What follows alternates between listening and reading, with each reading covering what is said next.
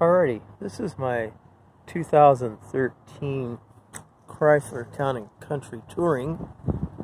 The van comes with a lot of features, but the one feature it did not come with, as the cars go by making noise, Grand Central Station here. Ooh, nice car. The one feature it does not come with is remote start. And I thought, hey, it'd be great to add an aftermarket remote start for those really cold days or those really hot days. But it was pointed out to me that you don't need to add aftermarket remote start. You can program the remote start into the car. Step number one was to buy new buttons for the key fob.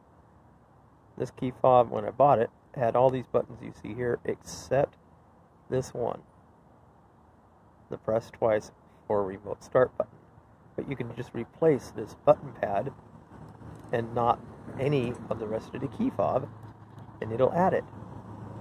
Now, to prove that there's nobody sitting in the car with the spare key fob, I'm going to go ahead and open the door. So we're going to press the unlock button. There we go. I'm just going to attach this to my fanny pack here for a moment so I don't lose this. Come on, get on there. There we go. All right. So, let's wheel up here. Sorry, I know the view sucks, but it is my view. I'm low to the ground.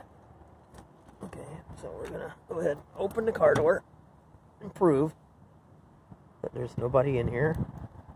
Uh, we'll go ahead and open the slider too, just to make that point clear. Okay, so there's nobody in the car hiding anywhere. The driver's seat is turned sideways so I can transfer and the vehicle is otherwise completely and utterly empty. So I'm going to try and hang on to the phone with my free hand. and Close the front door. There we go. And I'm going to use the key fob again. Here it is. Close the sliding door. There we go. And I'm going to lock it up. I don't have the horn beep, but the doors did lock. So now I'm going to just stand back here a little ways. Still doing this in one take. I'm going to hold this up and hit double click. And the van started. Now what I don't know is if it'll stall when I open the siding the side door. Normally what would happen is you'd hit unlock climbing through the driver's side and the engine would keep running, you would stick this in its slot, turn it to run. Well, let's see what happens when we open the sliding door because that's the way I always get in the van. Well, there we go. Look at that. It just continues to run. Cool. Well, that's good to see. So I'm just going to go ahead and shut it off so I don't have to talk over it. Should double click it again. Excellent. And we'll just go ahead and close the door. Wait for it to close and we'll lock it up again. Again, I've disabled the horn so you don't hear that, just the click of the locks. Alright, so that wasn't the only thing I had to do, but that was the first thing I had to do, was add these buttons. The uh, second thing I had to do was buy an ODB 2 to USB cable, a little laptop, a cheapy refurb one, and AppCar. In an AppCar, I had to go into the Win module, WMS module, I believe, and tell it that I had a hood switch. And then I had to go in to uh, the module and tell it the vehicle had re factory remote start. I then had to copy the pin from that module and then store that pin on the main computer. That was pretty straightforward, and the internet's full of instructions on that. No point in posting it here.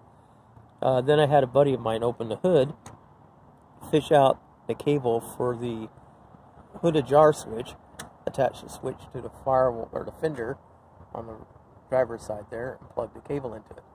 And that's all we had to do mechanically.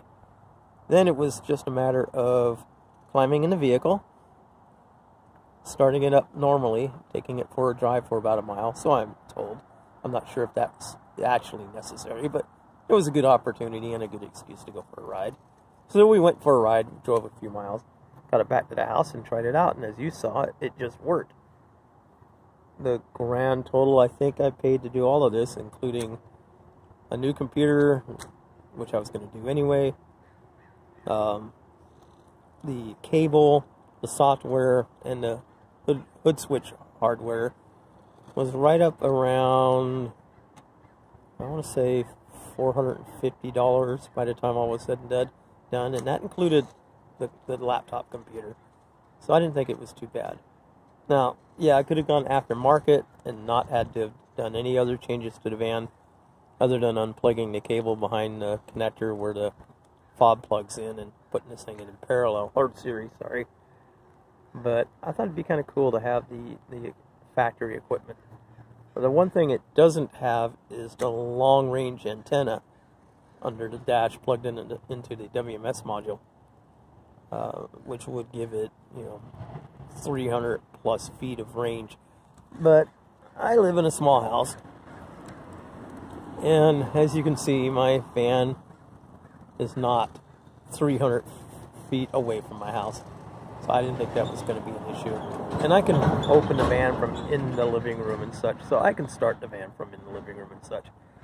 But this is going to be a great option. It's kind of silly that Chrysler doesn't just go ahead and, and include it because there really isn't a big change. You're talking about a, a key fob button pad and a long range antenna under the under the dash plus that uh, a little cheap hood ajar switch. You know, it only adds a couple of bucks to the total cost of the vehicle. And then you don't have to, you know, line them up and say, well, this one gets it, this one doesn't, blah, blah, blah. But yeah, kind of neat. I'm pretty happy about it. It's starting to rain. I'm going to give this video an end.